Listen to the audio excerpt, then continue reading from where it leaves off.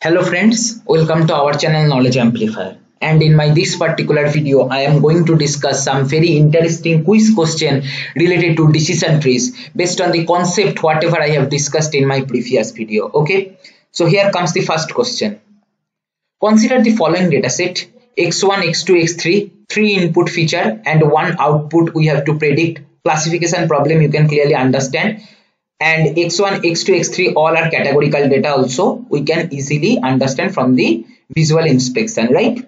Now the question says let us train a decision tree with this data. Let's call this tree t1 and the question is what feature will we split on at the root? That is at the root which feature we are going to choose among x1 x2 and x3 okay so pause my video and try to think about the correct answer. Here I am explaining. Okay. So we don't know based on which feature we have to split. So what we will do, we will just split based on all possible combination. That is, we will try with x1, we'll try with x2, we'll try with x3. If we just split, what we will be getting? See, x1 column, two distinct possible outcome 0 and 1 that is we can in the other way we can say 0 and not 0 so 0 and 1 okay? If we are considering x1 as 0 outcome in one case is minus 1 and in this case is plus 1 so x1 0 two outcomes whatever is coming minus 1 and plus 1 for x1 equal to 1 that is first row and third row outcome will be getting plus 1 and minus 1 so in this side also plus 1 and minus 1 is coming now what I have told you, now we have to calculate the classification error. So whatever model will do in this case, as this is classification problem, our model will consider the mode as prediction outcome. Okay. So what is the mode of minus 1 and plus 1? Both frequency is 1. So we cannot calculate mode properly. So in this kind of scenario when we have bimodal data or multimodal data that time minimum value it considers as mode.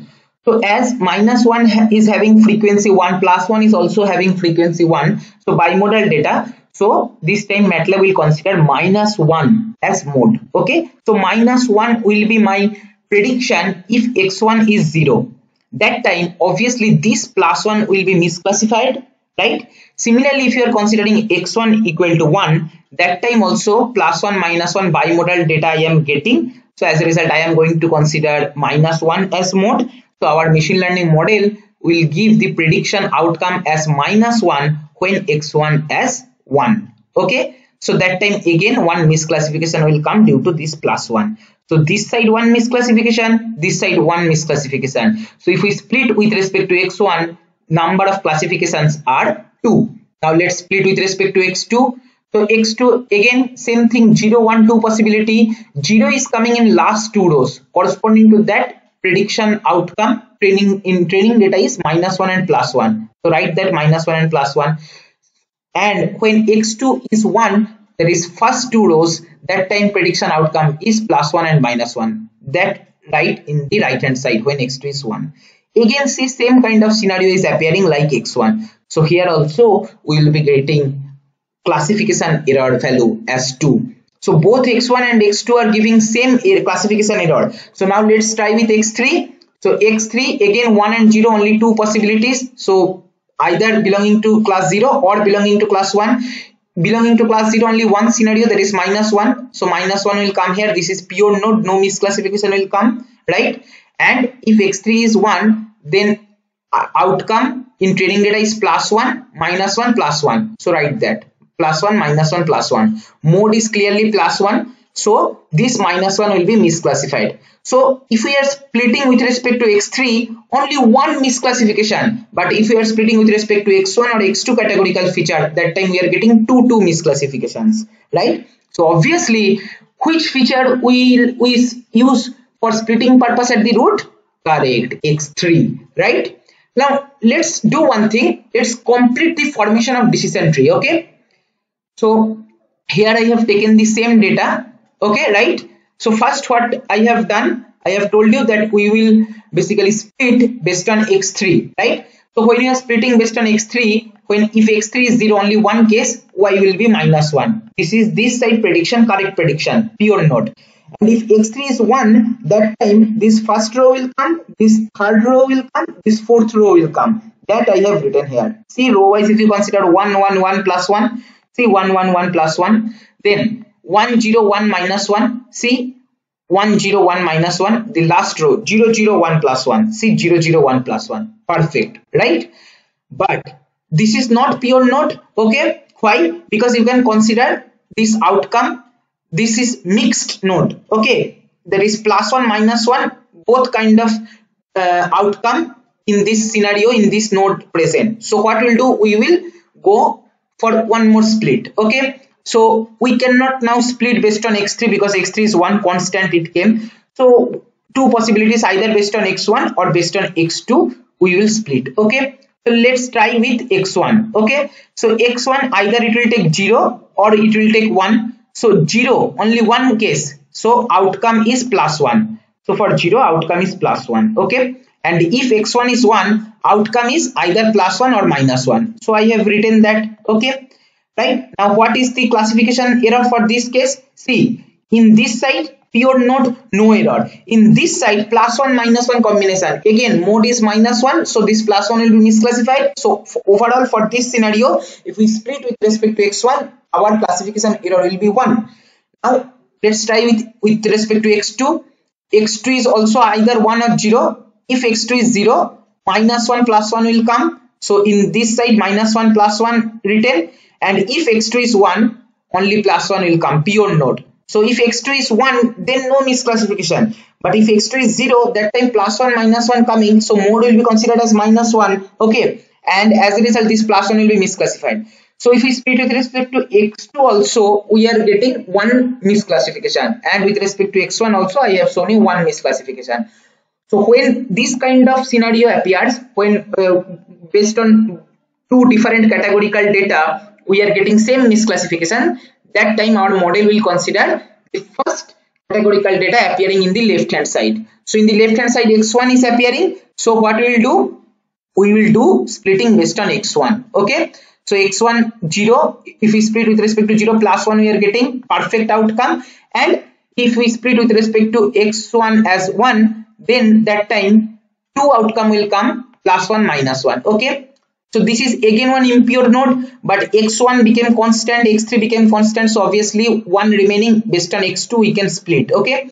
X2 0 or 1 okay? If it is 0 then it will be minus 1 if it is 1 then outcome is plus 1 right? So my whole decision tree looks like this. See, first we will check with x3. If x3 is 0, we will conclude or we will predict as minus 1. If x3 is 1, that time we will check whether x1 is 0 or 1.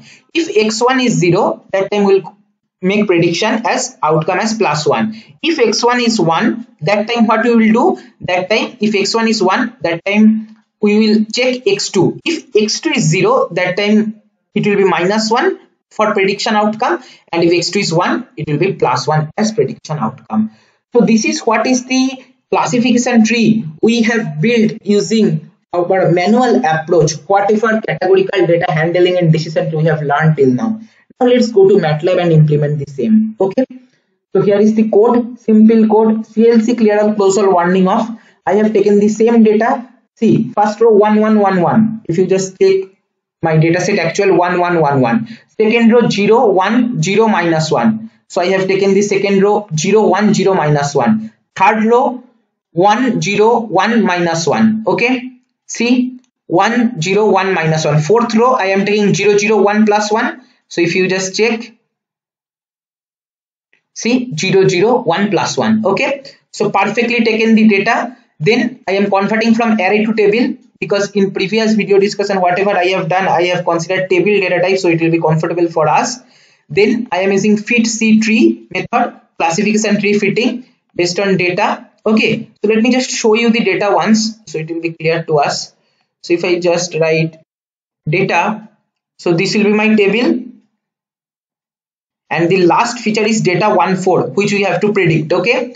So which we have to predict that outcome we are writing data 1 for then see this particular one you can easily understand min parent size 2 I am specifying. By default what is min parent size? 10 right? So if if we if we don't change this then obviously the tree depth will not increase. But we want to go up to the deepest part of the tree so that in each node it will become pure. See pure node. Always it is forming right? So i am taking very small min parent size so kind of overfitting will obviously happen.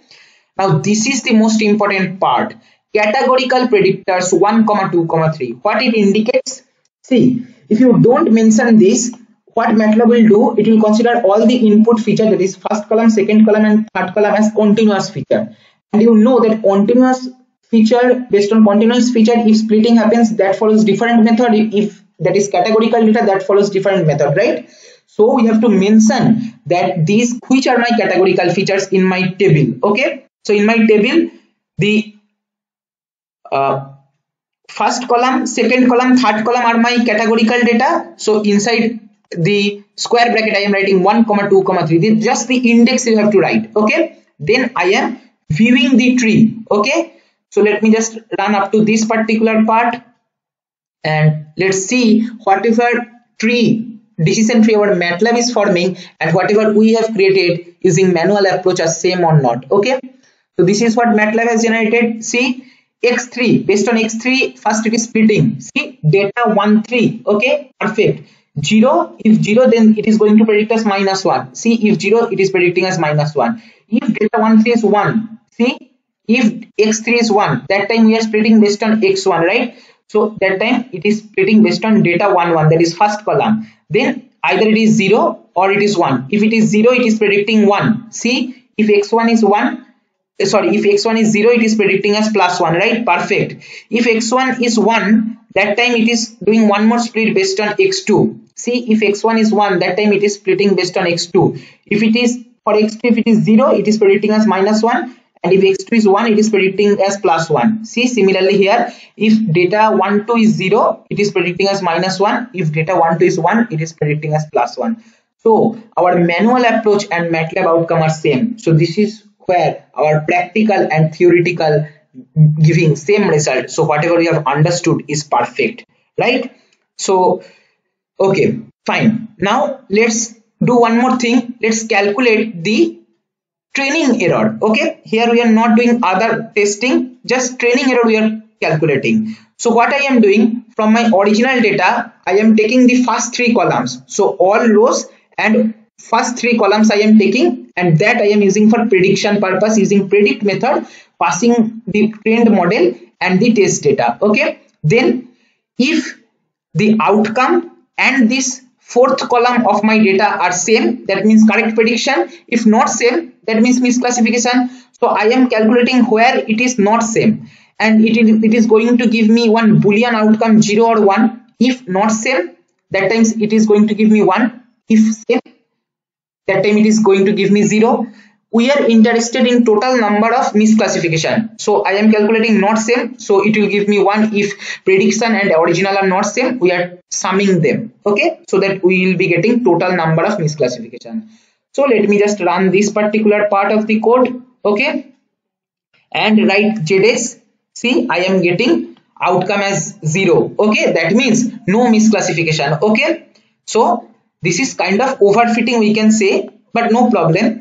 And uh, one more thing what is the depth of my tree if i ask you? See 1 2 3 depth is 3 right? You can easily understand. Cool coming to the next question. Okay we have clearly done this completely. Okay see fully trained t1 okay t1 is what? T1 is my let's call this tree t1 whatever uh, decision tree we are forming based on this training data is termed as t1 okay the question is fully trained t1 fully trained means until each leaf has data points on, of the same output level. That is pure node. Okay what just now we have formed. Okay now the question is what is the depth of t1 we have seen depth is 3 right? So these kind of questions might be asked in quiz question or in machine learning re related uh, exams okay? Right? Or maybe in placement process okay? Next question what is the training error of t1 training error is how much? Zero right? We have seen pure node so obviously zero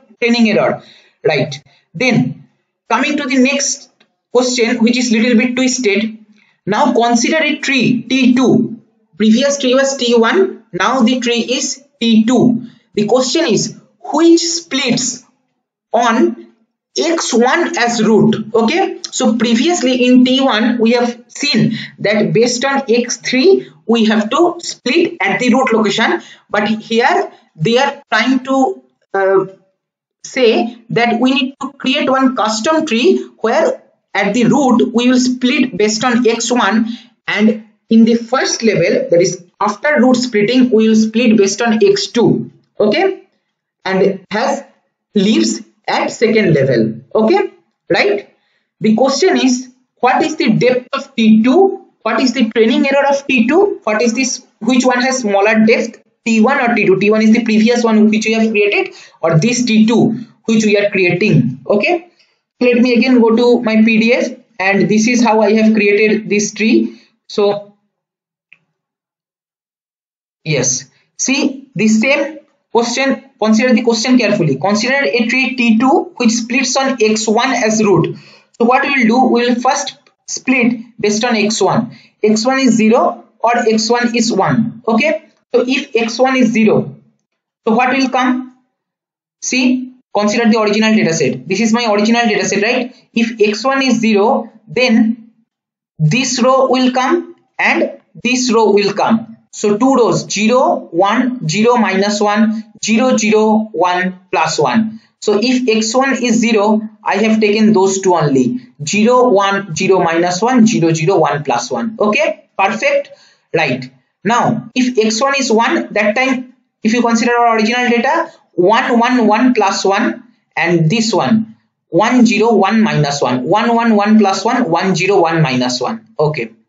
So see if x1 is 1 I am taking those two row only. 1 1 1 plus 1 1 0 1 minus 1 because it is asked in the question we have to do like this. It, it is not saying that you need to consider the misclassification error. Okay? Or misclassification rate or error right?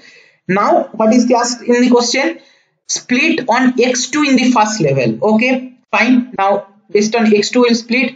So see based on x2 if we split either 0 or 1 if x2 is 0 only one outcome y will be plus 1 see plus 1 we are getting here.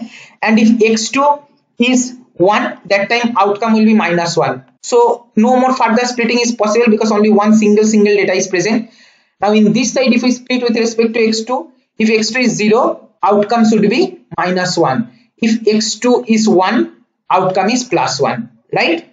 So this is what is our decision tree according to the question. So what we will do first we will first check x1 value. If it is 0 we will check based on x2 value. If x2 is 0 we will predict as plus 1 if x2 is 1 we will predict as minus 1 if x1 is 1 and x2 is 0 we will predict as minus 1 if x1 is 1 x2 is also 1 we will predict as plus 1 so that's what i have written the same. Okay? X1 0 x2 0 see x1 0 x2 0 prediction is plus 1 y outcome is plus 1 x1 is 0 x2 is plus 1 x1 is 0 x2 is plus 1 outcome should be minus 1 right? Then x1 is 1 x2 is 0 see x1 is 1 x2 is 0 outcome is minus 1 right? And x1 is 1 x2 is also 1 outcome is plus 1 that's what i have written here.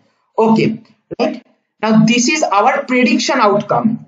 Let's put that on our training data okay? So i have just removed x3 column from my training data and i have put the same okay? You can understand just you tally with my previous training data you will be getting this one only. So this is what is our actual output and let us try to predict using the decision tree what we have just now created okay? X1 1 x2 1 so x1 1 x2 1 prediction should be plus 1 we are writing plus 1 then x1 0 x2 1 what is prediction? X1 0 x2 1 x1 0 x2 1 y should be minus 1 so we, we are writing prediction as minus 1 x1 1 x2 0 see x1 1 x2 0 outcome is minus 1 we are writing that minus 1 and x1 0 x2 0 then see outcome prediction should be plus 1 plus 1 so this is our prediction and this is our actual data set if you compare both are same so basically in this case training error is 0 right so here also using this kind of decision also we are getting outcome perfectly but see here, what is the depth of my tree? Only 2, right? So, T2 is having smaller depth than our previous decision tree T1, right? Although in the first stage, we are not splitting based on X3 feature, which was primarily giving us good uh, uh, good classification in the primary stage, but overall we can see that within within a depth of 2, we are getting proper uh, uh, training error 0, there is proper classification. So this tree is better than previous one. And this is the problem of greedy approach. Okay? That's what i wanted to discuss if you follow greedy approach then it might happen it might be locally optimal solution but it is not global optimal okay like here we can see initial stage we are not considering that which was giving us correct result that is x3 feature we are going with x1 and then x2 it is giving us correct that is training error 0 okay with smaller depth okay so this is the problem of greedy approach. Remember this, right? So what is the depth of the T2? 2, right? What is the training error? For T2, 0. Which one is having smaller depth? T1 or T2? T1 having 3, T2 having 2. So correct answer is T2. So this kind of paradox thinking problems might be asked from decision tree, right? Coming to the next question. Which of these rules is more appropriate for splitting on real valued features? Real valued means continuous data considered, right? So option A split using threshold. That is income less than 60k or income greater than equal to 60k or option 2 split using numerical value. Income equal to equal to 60k or income not equal to 60k okay? Option C neither of the above is appropriate. So what is the correct answer? Yes I have told you if that is having continuous feature then what we will do? We will apply thresholding concept. Okay? So correct answer is option A, right? And this one we will use for categorical data. That is either belonging to one class or not belonging to that class, right? Then true false question. Decision tree with depth greater than 1 is always linear classifier. Is it true? Obviously not. I have shown you the visualization of decision tree that have cuts which are obviously not linear, right? So the correct answer is true. Uh, sorry, this will be I have marked wrong, this will be false actually. Decision tree are always linear classifier. No, decision tree with depth greater than 1 are always non-linear classifier, right? Because I have we have seen the cuts if depth greater than 2 it will not be linear, right? So it will be false. I have marked wrong. This will be false. Okay. Then one term I want to introduce that is decision stump. So a decision stump is a machine learning model consisting of only one level decision tree. Okay? That is only one cut we will do.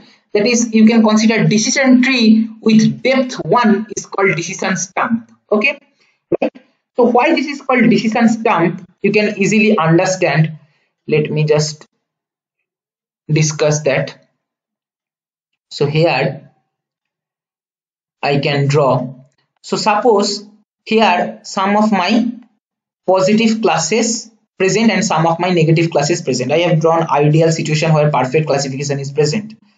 Now, so what will happen if you create the first cut in decision tree? Obviously, the cut or split area should be like this. Now, how it is looking? It is looking like stump, right? In cricket match, I hope you have seen stump. So if you consider one single stump, that is looking like this one, right? So decision tree with depth 1 is called decision stump. So why this is stump? I hope it is clearly understandable. It is having a little bit similarity with stump. Right. Now the question is decision stump is what kind of classifier? That is linear or non-linear? Tell me. See, one single cut. I am showing this, in this case like this, it might happen that one single cut will come like this. So obviously one cut is either parallel to x or y axis, right? I have told you Uh, many times. So obviously this is linear right? So decision stump is linear classifier. Remember this. Then next question. Consider two data set d1 and d2 where d2 has same data point as d1 but has extra feature for each data point. Okay there is one more extra column is present.